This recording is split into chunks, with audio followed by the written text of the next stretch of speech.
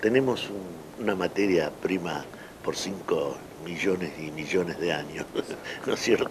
Que nos da gratis. Lo único que hay que transformar esa energía este, de, de solar en una energía utilizable para nuestro, en este caso residenciales, que es lo que proponemos nosotros, yo como vecinalista y que busco una solución, o estoy intentando buscar una solución para los vecinos y ahora se me extiende a todos los lugares, que era la falta de energía y los cortes en la ciudad, que son terribles.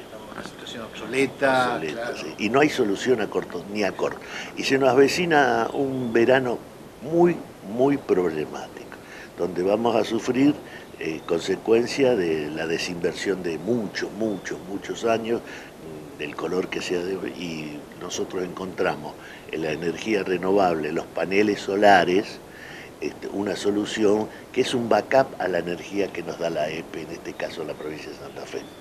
El mundo va por ahí, es decir, renovable, energía Exactamente, el mundo, es decir, lo que el sol nos da en una hora y media, el mundo lo consume en un año.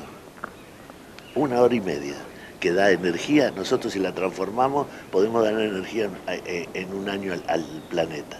Bueno, eso es lo que nos más nos preocupó, por eso las comunidades energéticas que nosotros queremos armar es para bajar costos, es decir, no se paga IVA, no se paga impuesto interno, eh, el vecino de China a su casa.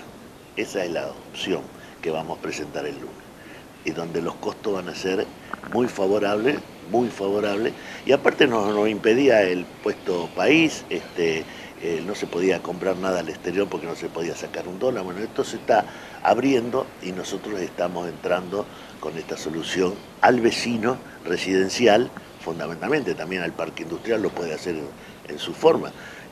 A ver, la filosofía es pongan paneles solares, busquen energías renovables. Tenemos que el planeta está en problema. Bueno, somos nosotros los que tenemos que solucionarlo.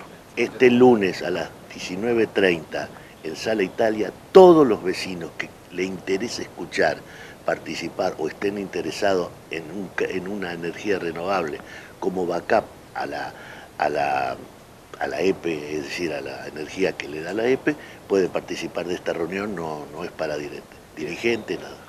El éxito, desde mi punto de vista, tiene cuatro etapas, ¿no es cierto? El pensarlo, prepararlo, ejecutarlo y explotarlo. Nosotros estamos en la preparación. Esto es abierto, acá todos ganamos, nadie pierde. El tema más importante es que nadie pierde, todos ganan. Hasta si yo pongo paneles solares y le doy al vecino, cuando se corte la luz, ya eh, todos ganamos.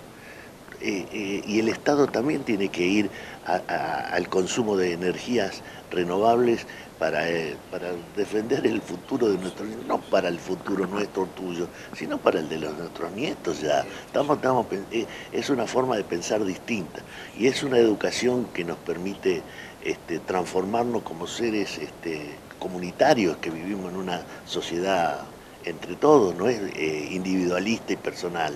Esto hay una ley nacional, la 27.424, que obliga a las distribuidoras a colocar eh, medidores eh, de, inversores, es decir, este, de ida y vuelta de la energía, este, y eso es lo que está impulsando también que el Estado va a tener que utilizar esto. Bueno, con, el, con Daniel Escaleante ayer, casualmente en una reunión que tuvimos para para lo del lunes, si la cosa va, él va a poner energía renovable en la municipalidad como proyecto. Es decir, eso elimina muchos eh, problemas que tenemos, ¿no?